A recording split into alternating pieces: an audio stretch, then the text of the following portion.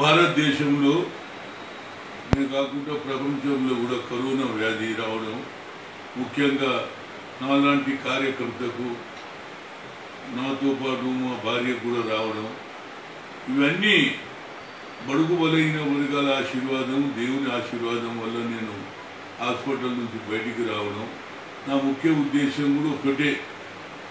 ఈ బడుగు బలైన వర్గాల గురించి అయితే ఇందిరాగాంధీ రాత్రి పగలు ప్రయత్నం చేసి సెవెంటీ సెవెన్లో అగ్రకులాలంతా ఏకమైన మళ్ళా నైన్టీన్ ఎయిటీలో అదే బడుగు బలిగిన వర్గాలు గెలిపించడం జరిగింది. అదే ఉద్దేశంతో తెలంగాణలో కూడా ఎట్టి పరిస్థితుల్లో బడుగు బలహీన వర్గాలను ఏకం చేసి మళ్ళీ ఇందిరాగాంధీ ఆలోచనను ఇంప్లిమెంట్ చేయడానికి నా మిగతా జీవితం అంతా బడుగు బలహీన వర్గాలకి అంకితం బడుగు బలహీన వర్గాలకు ఆధిపత్యం చేయడానికి నా శాయశక్తులకు కృషి చేస్తాను.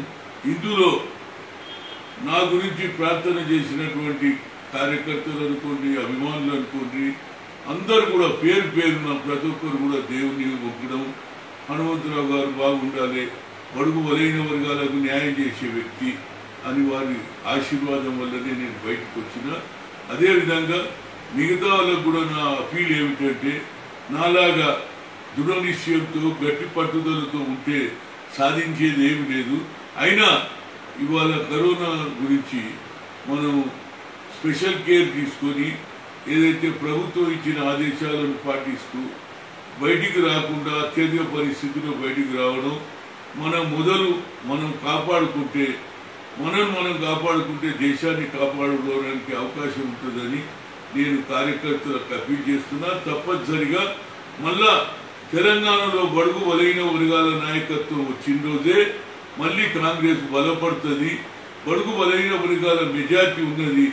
వారి లాంటి వారికి నాయకత్వం మళ్ళీ ఇందిరాగాంధీ అంటేనే బడుగు బలైన వర్గాల పార్టీ. ఆ బడుగు బలైన వర్గాల పార్టీ అంటేనే ఇందిరాగాంధీ అదే ఆలోచనతో ముందుకు నడుస్తూ మళ్ళీ తెలంగాణలో కాంగ్రెస్ జెండా రెపరెపలాడడానికి నా పూర్తి జీవితం దానికి అంకితం అవుతాం దాంతో పాటు మిగతా కార్యకర్తలు కూడా అదే బాటలో నడవాలని నా అప్పీల్.